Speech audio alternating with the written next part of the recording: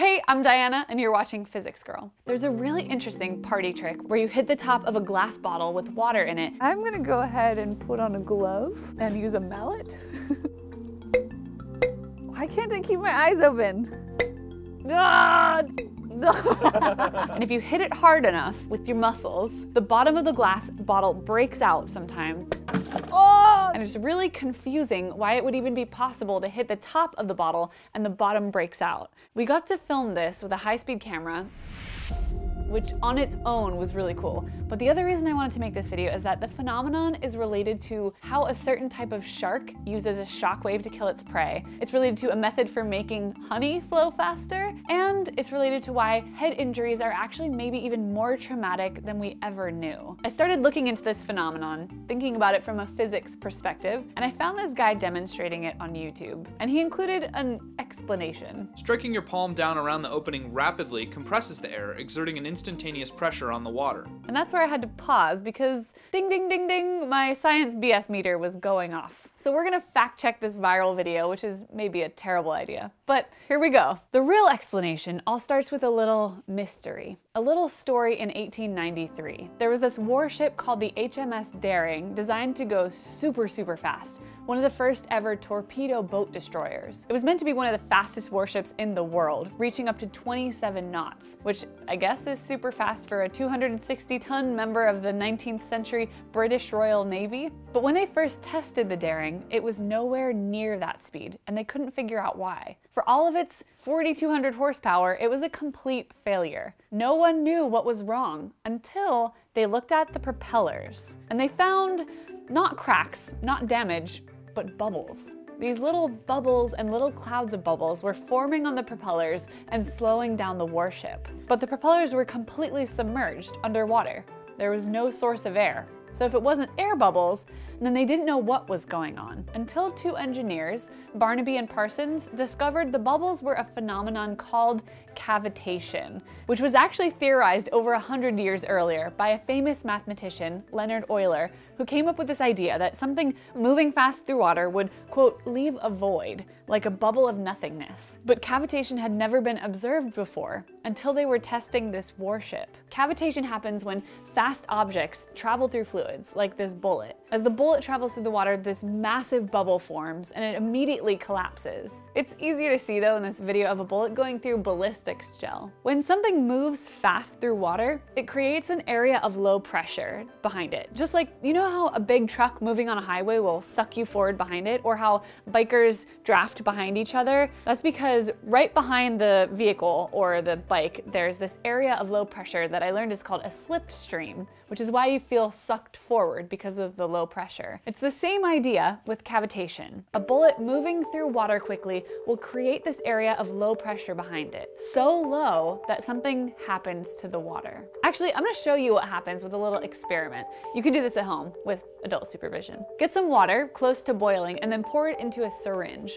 Close the syringe off airtight and then pull it and it'll start to boil. It's vaporizing. The water is turning into a gas because when you decrease the pressure by pulling the syringe, or you could decrease the pressure by taking the water up to a higher altitude where the air is at a lower pressure. And then the phase diagram from your high school chemistry textbook tells you that water will eventually change phase when you change the pressure. It'll vaporize. In fact, if you went up to 60,000 feet and you spit outside, your spit would start to boil, assuming that your saliva is at body temperature. So if your bullet moves fast enough in the water, it'll leave behind an area of low pressure because it's pushing into water ahead of it. So that's creating an area of high pressure in the front and then leaving behind a, an area of low pressure. Although in some cases it creates low pressure in front. That's a really fun little aside, but typically you get higher pressure in front and lower pressure behind, creating the vapor bubble behind the moving object, which is exactly what the engineers working on the HMS Daring found when they looked at the propellers. When the pressure behind the propeller dropped below 0.46 atmospheres,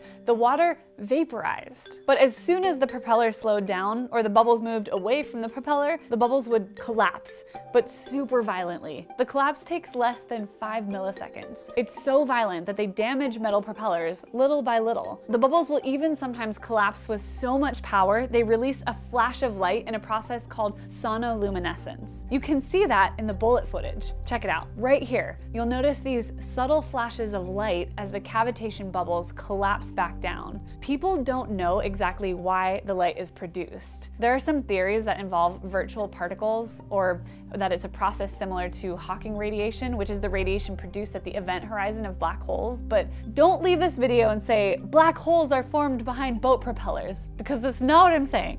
The takeaway here is that we don't fully understand. We don't know yet how sonoluminescence works. It's an open area of research in physics, if you're interested. So cavitation bubbles were slowing down the propellers. As the engineers noted, quote, the greater portion of the power of the engine was going into formation and maintenance of these cavities rather than propulsion of the vessel. So did they fix it? Yes, they did. They were able to get the big old ship up to 32 knots the quote, fastest boat ever for the late 1800s. How did they do it? Well, they increased the surface area of the propeller, which decreased the efficiency, but they added more propellers. And these days, cavitation is quite a well-known phenomenon with boat propellers. You see old ship propellers with tons of damage, all these little indentations, because that bubble collapse is so violent. Yeah, it's so violent, it can maybe break glass. My obsession with this trick started when I had access to a very fancy slow motion camera and I was thinking of what to film at insanely high speeds for you guys.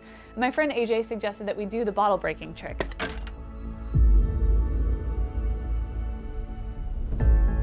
I didn't know a whole lot about it, so I found that video about the guy in his backyard telling how to do the trick and going into this explanation with some diagrams and fancy jargon. And he talks about how you push your hand down and you compress the air, which pushes on the incompressible water, which is so far not wrong, but he claims that the compression is strong enough to break the bottle. To figure out if that's true, you can look up the standard beer bottle burst pressure, which is 50 to 70 psi, which is pretty high. So to get that, you need to compress a sizable volume of air into the bottle.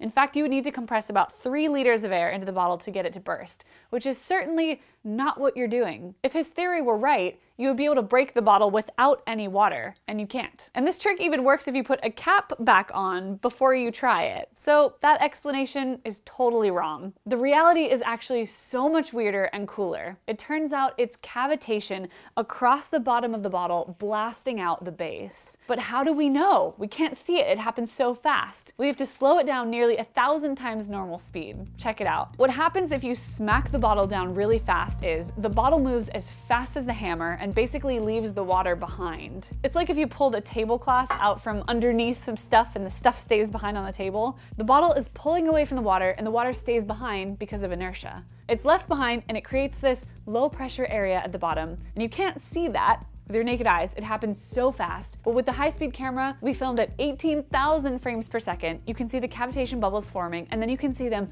collapsing. And as soon as they collapse, all the energy at the interface between the vapor bubble and the water gets concentrated into nearly a single tiny point, causing an enormous spike in pressure and temperature and releasing a powerful shockwave that shatters out the bottom of the glass. And the other cool thing I'd never seen before, we tried this with carbonated water, but that's been shown generally not to work. But we noticed this strange moment. We did the hit with the carbonated water, cavitation bubbles formed, and they collapsed a little bit and that immediately created all these bubbles throughout the entire bottle. I initially wondered why there would be bubbles in the rest of the bottle.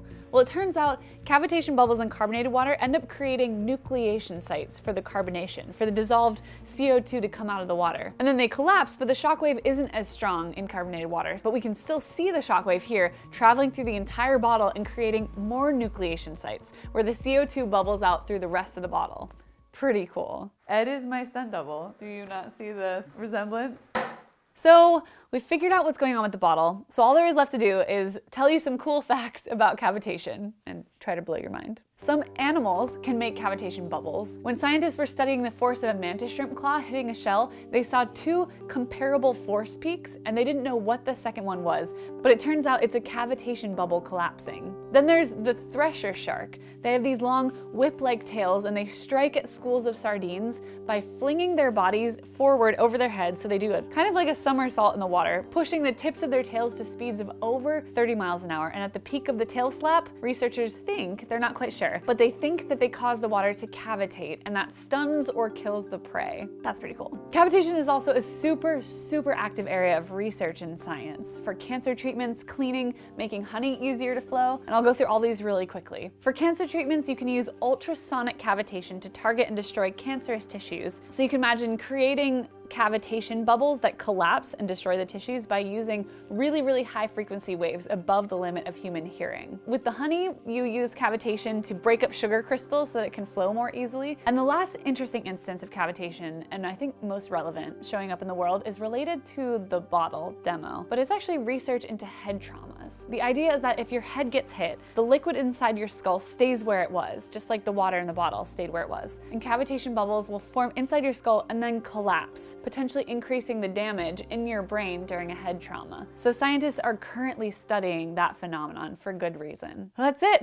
That's all I've got. I hope you enjoyed this video. I really enjoyed learning about cavitation. There's so much more. There's even more. Go Google cavitation, see what other kinds of research are going on. You can't say you didn't learn anything on the internet today. Be careful cutting your hair by yourself and happy physicsing!